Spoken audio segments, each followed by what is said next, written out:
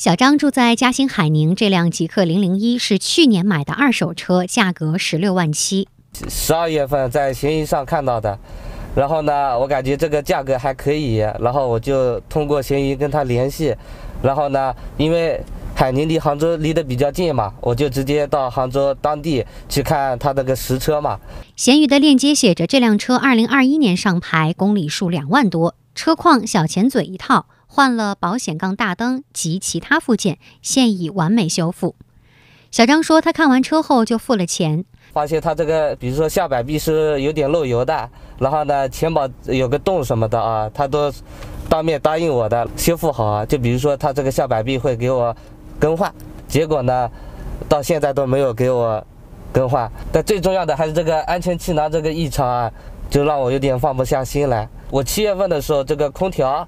坏掉了，然后我开过去，他这个安全气囊也没有给我修，呃，足足等了六天吧，只我自己去外面自己去修，一天就修好了。小张提供了二手车销售协议书，卖方是一位顾老板，上面有一行手写的约定事项，写明该车为事故修复车，甲方保修一年，如有问题免费为乙方维修。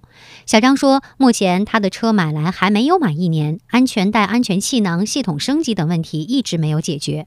就是如果发生事故啊，他这个人冲出去以后，他这个就没有卡卡死，是不是这意思？卡死不了了。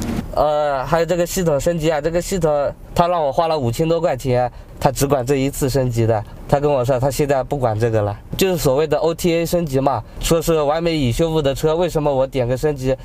他跳出了很多故障码，他跟我说，要要要换很多配件才能升级，诉求就是给我车呃呃修好嘛，最好是就是多少时间内给我修好，给我一个具体的时间。顾老板在杭州九堡开了一家汽修厂，他回应自己并没有拒绝给小张修车，只是汽修厂条件有限。因为我这个电脑它进不了这个呃极客零零零一系统了，我当时就说我说你这个车子如果。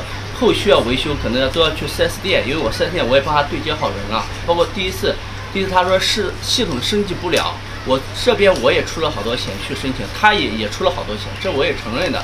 因为有些东西我这边弄不了，我要求着人家四 S 店，不是说我随时去了，人家就给我弄。你自己去了也也是一样，是不是都要给你排队的？你现在给我拿什么六天五五天的说说是？郭老板还提到，他给了小张五百块钱作为修空调的费用。